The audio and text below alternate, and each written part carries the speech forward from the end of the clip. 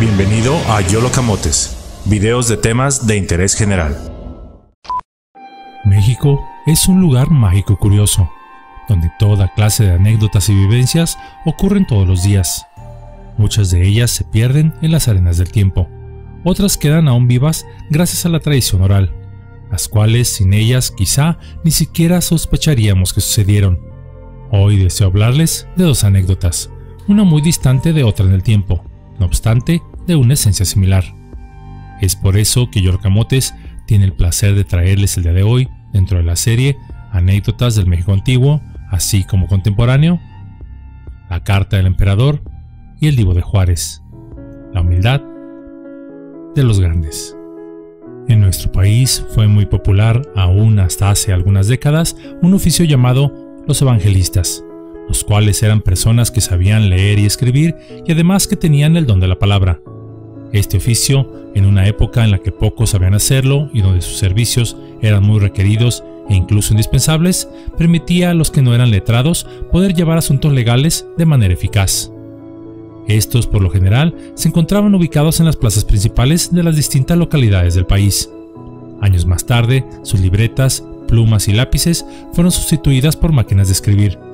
Estos fueron desapareciendo conforme arribaron las nuevas tecnologías de la informática, que permitían casi a cualquier persona más o menos alcanzar la elocuencia de estos profesionales de la escritura y la palabra. A mediados del siglo XIX sus precios variaban, por ejemplo, 25 centavos si la carta era sin elocuencia y 50 centavos con elocuencia.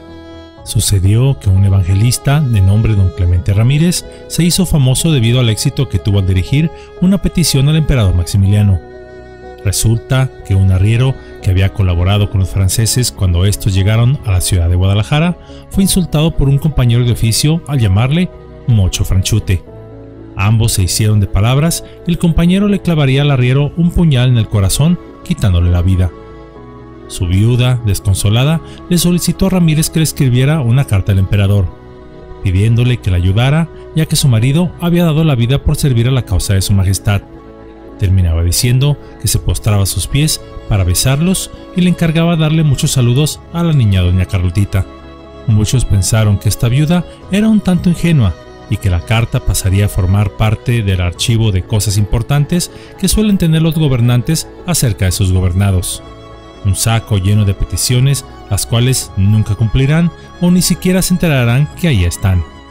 Pero aquí sucedería lo contrario. Maximiliano solía leer personalmente todas las cartas que el pueblo enviaba, y esta no fue la excepción. Emitió la orden que le dieran 100 pesos oro a la viuda y además una pensión vitalicia, expresándole además sus más sinceras condolencias, así como poniéndose a su servicio. Cuando llegó la respuesta, Don Clemente no podía creerlo, por lo que se encargó de leerla públicamente y así dar a conocer el éxito de su gestión. Más tarde, sobre su escritorio, colocaría un rótulo que decía Clemente Ramírez, especialista en misiones para la corte. Cierra la cita. Claro, cuando cayó el imperio, el rótulo desapareció convenientemente. En su lugar apareció otro que decía Clemente Ramírez, especialista de casos desesperados. La segunda anécdota, o mejor dicho vivencia, la vivió el artista Juan Gabriel, la cual es una de las voces más reconocidas nacional e internacionalmente de la música contemporánea mexicana.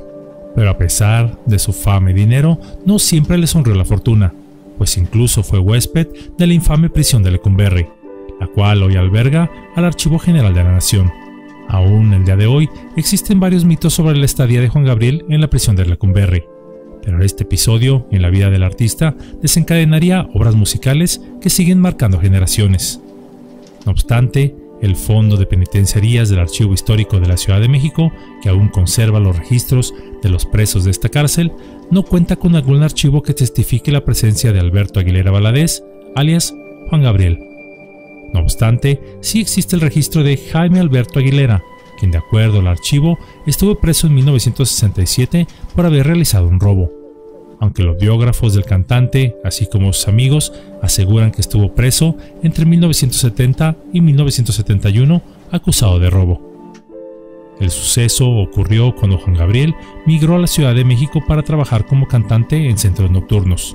Lamentablemente, las cosas no ocurrieron como el divo de Juárez esperaba, y se encontró de repente en situación de la calle, lo que lo obligaría a dormir en la central camionera, en la Alameda Central, en la villa y la estación de ferrocarriles de Buenavista.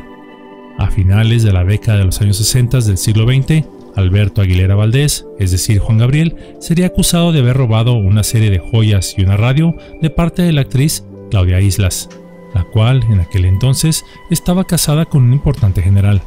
Aunque después, cuando Juan Gabriel alcanzó la fama, ella negó que lo había acusado, pero pues esa nadie se la cree. No obstante, durante su estancia en prisión, el divo no desaprovechó su tiempo, pues aún a pesar de su confinamiento, este le sirvió de inspiración pues durante este periodo compondría canciones como Me he quedado solo, No tengo dinero y Tres claveles y un rosal. Además, también el divo encontraría el amor carnal y fugaz, pero intenso, detrás de los barrotes y paredes de este recinto. Este episodio, en la cárcel de Lecumberri, está representado en la película autobiográfica del cantautor, donde incluso él mismo actuó su papel.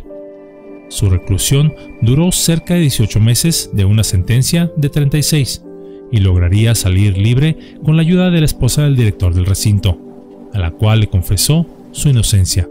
Esta a su vez presionó a su marido, así como contactó a varios amigos suyos para que gestionaran y pagaran la fianza de 5 mil pesos, más o menos el equivalente del día de hoy de 250 mil pesos, para que el divo saliera libre.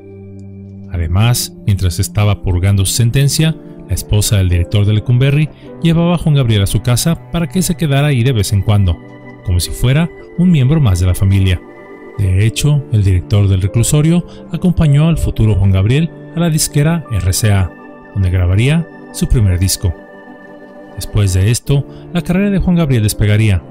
Se dice que desafortunadamente olvidándose de quien hizo posible su salida temprana de prisión, así como su ascenso a la fama. No obstante, Juan Gabriel siempre sería una persona humilde, y aunque a veces se le olvidaban sus orígenes y se le subía la fama a la cabeza, él mismo reconocía que una de sus mayores batallas en la vida era no olvidar de dónde provino, porque según sus palabras, a quien no lo hacía, la vida se encargaba a uno de bajarlo del escenario.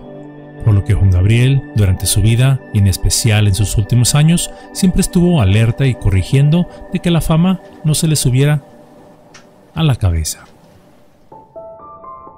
Este par de sencillas anécdotas nos muestran dos facetas de un mismo tema, la humildad.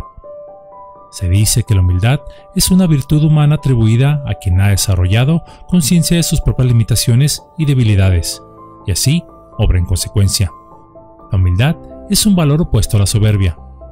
De hecho, el significado de humildad se relaciona con su origen etimológico. Como tal, la palabra proviene del latín humilitas, que a su vez proviene de la raíz humus, la cual quiere decir tierra, es decir, quien se postraba sobre la tierra en señal de sumisión o reconocimiento a la superioridad de otro. Pero la humildad no significa dejarse pisotear por los demás. Una persona humilde es capaz de demostrar modestia y deja de lado el yo para preocuparse por los demás.